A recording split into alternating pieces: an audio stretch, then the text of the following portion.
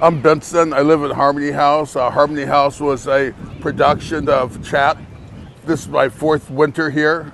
I had no place to stay. I was living out on the streets, and I came here. And we're a diverse bunch of people here. There's eight people living in Harmony House. We're as diverse as you can get. Uh, we all have mental health issues, and so it takes a lot to get along. But Chat has provided us with a house manager who helps us do that. Hello, my name is Kendra Bonner. I work for Chat um, in Harmony 3 House.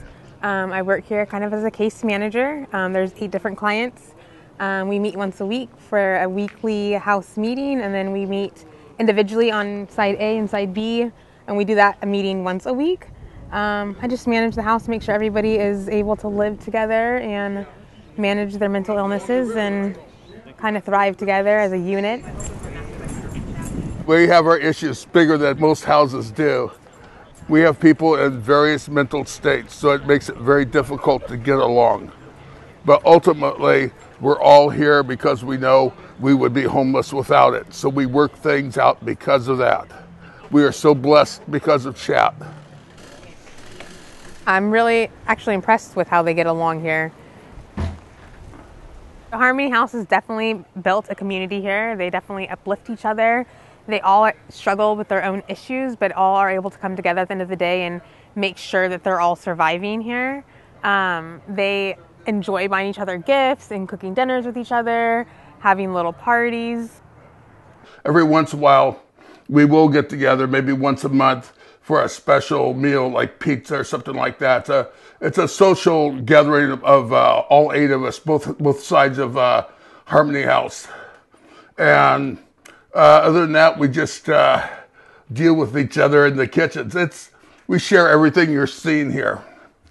That's how we get along right there. There's our organizing point. here at Harmony House, behavioral health definitely has a hand in with all of these clients. All of them are definitely seeing behavioral health once a week, are definitely on their medications, are definitely benefiting from that. So I believe this house to work so well, behavioral health has played a big role in that and has helped them out in the long run.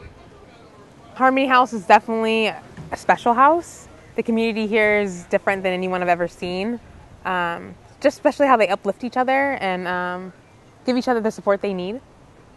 It's like like living independently, except the way chat is about it. It's about community. They teach you how to learn to like get resources from schools or jobs, and also they're very supportive on creative works though too.